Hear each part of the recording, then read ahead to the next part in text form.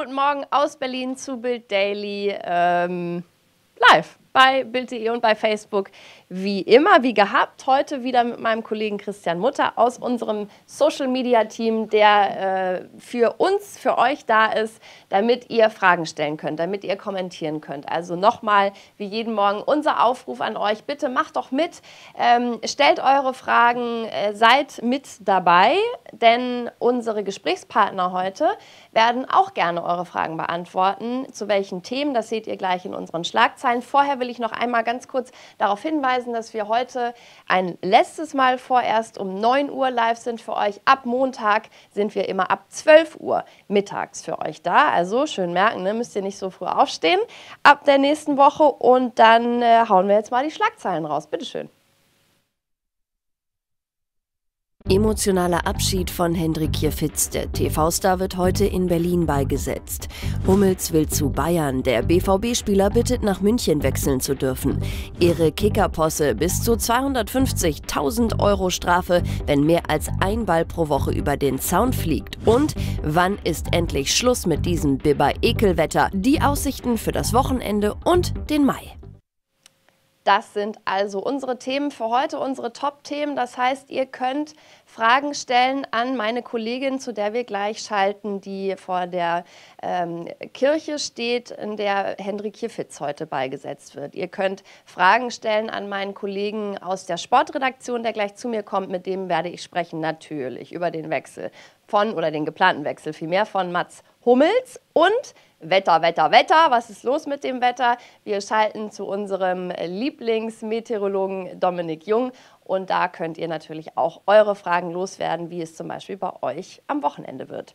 So, und dann starten wir ähm, mit einem tatsächlich nicht so schönen Thema, denn am äh, Dienstag dieser Woche war es ja quasi der Abschied im TV von Henrikje Fitz. Da lief, das, äh, lief sie selber das letzte Mal ähm, in aller Freundschaft auf dem ZDF mit ihr in der Hauptrolle. Vor gut drei Wochen war die sympathische Schauspielerin an ihrer Krebserkrankung verstorben. Ihre Freunde, ihre Familie und natürlich auch ihre Fans verabschieden sich nun heute von ihr. Meine Kollegin Christine Wahl ist uns jetzt live zugeschaltet vom Waldfriedhof in Berlin-Zehlendorf, wo gleich die Beisetzung stattfinden wird.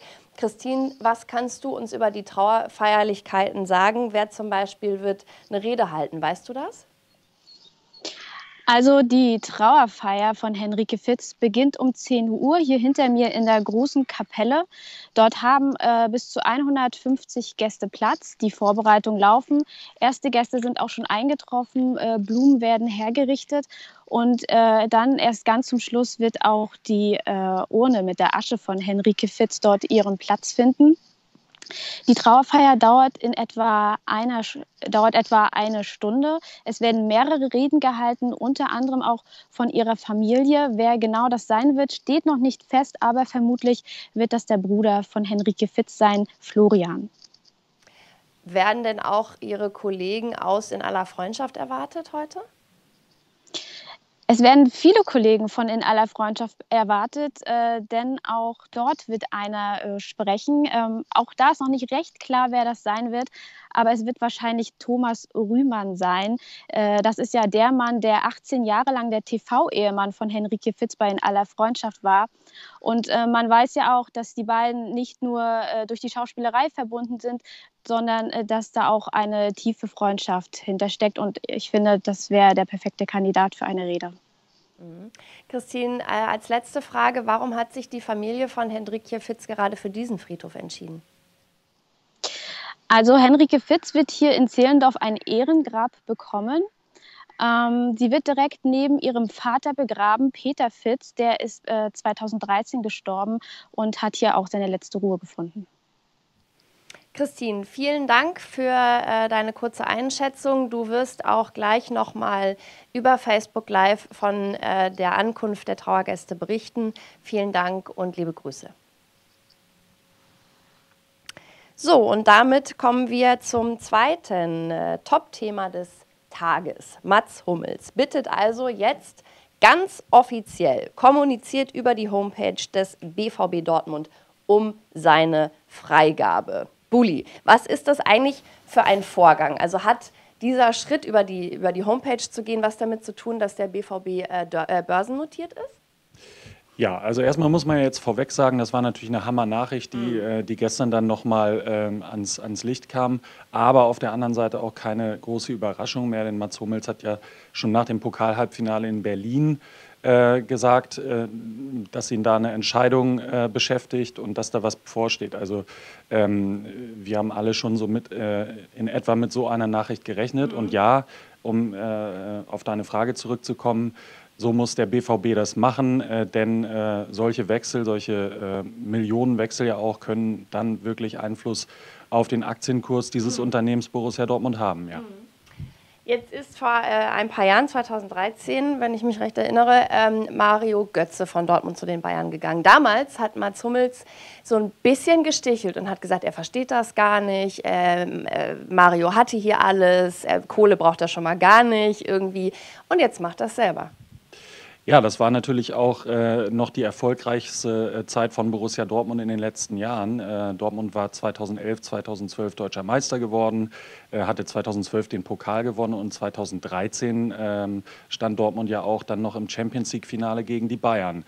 Da hatte Mats Hummels sicherlich nicht ganz unrecht. Äh, sicherlich wäre Mario Götze auch beim BVB weiter gut aufgehoben gewesen.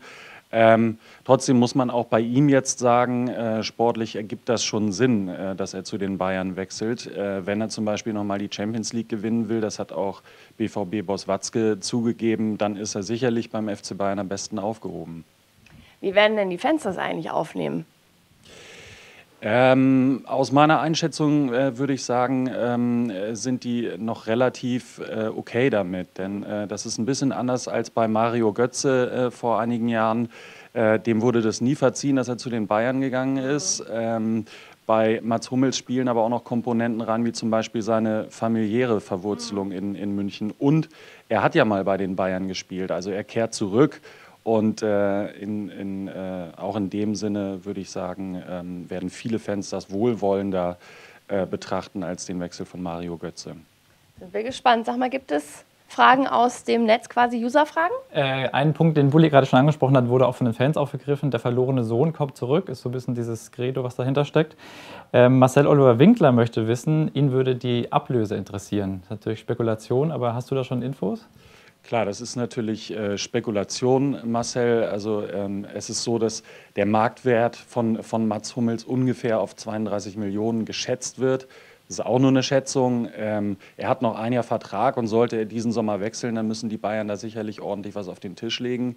Ähm, wir haben schon gesehen, äh, auch äh, beim Thema Gündoan, äh, Man City wird, wenn sie ihn haben wollen, äh, ordentlich nachbessern müssen beim Angebot. Und äh, auch bei Mats Hummels, da sind sich die Bayern sicherlich auch im Klaren darüber, ähm, wird eine große Summe fließen müssen. Das ist äh, einer der besten deutschen Innenverteidiger, klar. Uli, erstmal vielen Dank. Du bleibst noch ein bisschen bei uns, falls ja. noch weitere Fragen auftauchen. Wir bleiben noch mal ganz kurz bei diesen Riesensummen und auch beim Fußball. Ähm, beziehungsweise kommt noch ein Nachbarschaftsstreit. Diese Komponente kommt auch noch dazu. Denn ähm, ich kann euch sagen, egal worüber ihr euch schon mal mit euren Nachbarn gestritten habt, äh, das, was ihr jetzt seht, das übertrifft alles. Wirklich alles. Es ist ein Nachbarschaftsstreit, wie er im Buche steht. Die Mücke wird zum Elefanten gemacht und so wirklich einigen kann oder will sich einfach niemand. Für die Kicker vom TUS Kochstedt könnte diese Fehde in Zukunft aber so richtig teuer werden. Nachbar Lutz S. ist genervt von Fußbällen, die ständig in seinem Garten landen. Also verklagte er den Verein und bekam Recht. Unser Fußballverein wurde verklagt aktuell, dass wir dafür Sorge tragen müssen, dass nicht mehr wie ein Ball pro Woche den Ballfangzaun überfliegt zu unserem Nachbarn. Sind es mehr, könnte der Verein bis zu 250.000 Euro Strafe zahlen. Ja, Sie haben richtig gehört, eine Viertelmillion. Und das gilt auch für den öffentlichen Bolzplatz im hinteren Teil des Vereinsgeländes. Denn rechtlich trägt der Verein die Verantwortung dafür. Ich selbst würde es verstehen, wenn ich da mein Grundstück hätte, wenn ich da wohnen würde und jeden Sonntag würde bei mir auf die Kaffeetafel ein Ball rüberfliegen. Das sind sicherlich Aspekte, wo ich sage, okay, gut, das wäre eine sag ich mal, Situation, äh, die auch für mich nicht zufriedenstellen wäre. Aber hier bei der Nutzung dieses Grundstück, was ja für mich, sag ich mal, bloß ein Gartengrundstück ist, wo auch kein Schaden passieren kann, da gibt es sicherlich andere Lösungen. Ohne finanziellen Aufwand. Rein friedlich könnte man das alles klären. Aber wie gesagt, alle Versuche wurden bis jetzt von der Gegenseite abgewehrt. Und damit das Ganze auch ordentlich dokumentiert ist, überwacht Lutz S. sein Grundstück per Videokamera, abgesehen von den vier Zäunen. Der Verein bittet jetzt auf seiner Homepage um Spenden. Nicht etwa für das erste Bußgeld, sondern für einen höheren Zaun. So, Freunde, und jetzt wird es Zeit, dass wir mal über das kleine Arschloch alias Wetter sprechen zum Ende der Woche. Denn so langsam, finde ich, haben wir eigentlich ja alle die Schnauze voll. Und Dominik, wenn du uns jetzt nicht endlich mal die Sonne versprichst, muss auch ich dich leider durchbeleidigen. Wie wird das Wetter am Wochenende? Stehe schon mitten in der Sonne. Die Sonne, die kommt deutlich mehr hervor, vor allen Dingen Richtung Nordostdeutschland, im großen Rest. Da bleibt es aber noch ein bisschen wechselhaft. Vor allen Dingen am Samstag und Sonntag kann es im Süden, Südwesten viele Wolken geben und jede Menge Regen. Wahrscheinlich sogar Richtung Schwarzwald unwetterartige Regenmengen. Also mit dem schönen Wetter, da klappt es nicht überall, aber die Temperaturen gehen langsam bergauf. Viel tiefer als letzte Woche konnte es auch kaum noch gehen. Wir haben ja momentan dieses Tief gehabt über der Nordsee und das hat immer wieder die kalte Luft zu uns gebracht. Im Osten Europas, da liegen Hochs und die kommen so ein bisschen näher nach Ostdeutschland und das heißt, da wird es am Wochenende ein bisschen schöner. Ich möchte sagen, es wird Zeit äh, am, am 1. Mai, am Sonntag. Wie wird denn der Rest des Mais? Kannst du das sagen? Wird der, der Mai-Monat ähnlich bescheiden wie der April oder wird es besser? Also zumindest wird es mal wärmer in den nächsten Tagen schon Richtung Himmelfahrtstag oder Vatertag. Da können wir teilweise mit 20 bis 25 Grad rechnen, also ein erster Sommertag. Aber danach wird es schon wieder kühler. Das heißt, diese Wärme, die ist noch von kurzer Dauer und die Temperaturen, die gehen ziemlich schnell wieder runter nach dem Vatertag. Und ja, insgesamt wird der Mai wahrscheinlich eher wechselhaft verlaufen. Das heißt, so wie der April mal warm, ein bisschen kälter, immer wieder Regenschauer, teilweise auch kräftige Gewitter mit dabei, ähnlich wechselhaft wie im letzten Jahr. Also ein beständiges Hoch ist einfach nicht in Sicht. Ehrlicherweise kannst du ja auch nichts dafür, lieber Dominik. Ich danke dir für die Einschätzung, auch wenn sie nicht so wahnsinnig positiv waren und der Sommer immer noch sehr auf sich warten lässt. Aber vielen Dank und ein schönes Wochenende trotzdem. Gleich was. Tschüss. Tschüss. So, und dann kommen wir zum Schluss, weil wir nämlich noch ein bisschen Zeit haben, nochmal zurück zum BVB bzw. zu dem Wechsel von Hummels. Bevor ich noch zwei Fragen stelle, gibt es noch eine User-Frage schon wieder? Ja. ja? Zwei User-Fragen nochmal mhm. bekommen. Eine ist relativ schnell wahrscheinlich zu beantworten. Bulli, ähm, Florian fragt, wann würde der Wechsel endgültig vollzogen werden? Ja, ähm, ich habe es ja eben schon gesagt, äh, es sind noch vier Spiele, äh, wenn die Bayern äh, Mats Hummels schon im Sommer haben wollen für Hummels in Dortmund. Drei Bundesligaspiele und das Pokalfinale gegen die Bayern. Ähm, so wie sich die Ereignisse jetzt so in den letzten anderthalb Wochen entwickelt haben, äh, glaube ich, dass dann auch schon demnächst äh, eine Vollzugsmeldung kommen könnte. Das könnte schnell gehen jetzt, ja, klar. Und die andere Frage ist eher moralischer Art. Ist denn Mats Hummels jetzt beim BVB noch tragbar als Kapitän? Ähm, auch das, dazu hat äh, der Dortmund-Boss äh, Hans-Joachim Watzke schon was gesagt. Er hat äh, ganz klar, noch bevor diese Meldung gestern kam, äh, gesagt, Mats Hummels wird den BVB im Pokalfinale, also in seinem vielleicht letzten Spiel, als Kapitän aufs Feld führen hier in Berlin gegen die Bayern. Äh, ich glaube, da gibt es keinen Zweifel. Das wird so kommen. Mhm.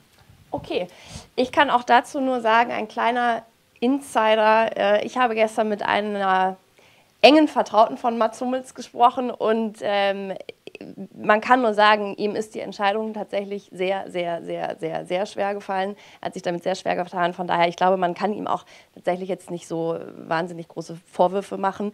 Ähm, als letzte Frage, Buli, äh, Jetzt sind da so, kommen da vielleicht 32, 34, 35 Millionen zustande. Was machen wir denn damit beim BVB? Äh, ja, also ähm, äh, es ist natürlich ganz klar, dass äh, irgendeine Art von adäquatem Ersatz gefunden werden muss, vor allem für Mats Hummels. Ähm, die Dortmunder sind aber auch schon äh, im, im, großen Ganzen so, sozusagen an der Planung für die neue Saison und stricken da äh, fleißig. Ähm, gerade für die Position von Mats Hummels ist Niklas Süle aus Hoffenheim im Gespräch. Das hatten wir auch schon berichtet. Ähm, also da werden wir sicherlich dann auch demnächst äh, wieder neue Nachrichten bekommen. Und hier zitiere ich auch nochmal den äh, BVB-Boss Watzke. Äh, also das ist in den letzten Jahren dem BVB immer gelungen, äh, schwere Abgänge zu verkraften und das werden sie wahrscheinlich dann auch mit Hummels schaffen. So sieht es der BVB. Super. Uli, vielen Dank. Das war Bild Daily für heute und diese Woche. Bitte daran denken, dass ihr am Montag um 12 Uhr einschaltet und, und äh, nicht um 9 Uhr, da kommen wir ein bisschen später. Bis dann, schönes Wochenende. Tschüss.